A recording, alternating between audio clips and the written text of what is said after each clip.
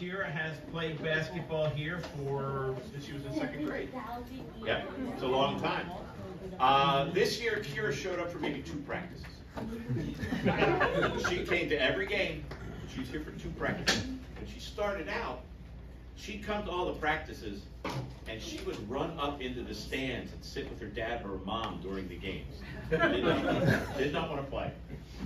I just, it's just fun to see the fact that you went from there to here and are out there running around and playing tough.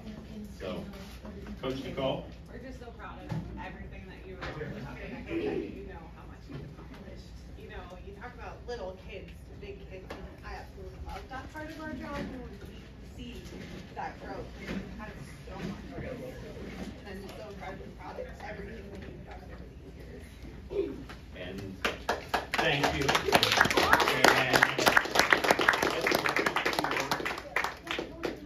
Everybody gets a bag, these, these are funny. So, all right, thank you. Hey.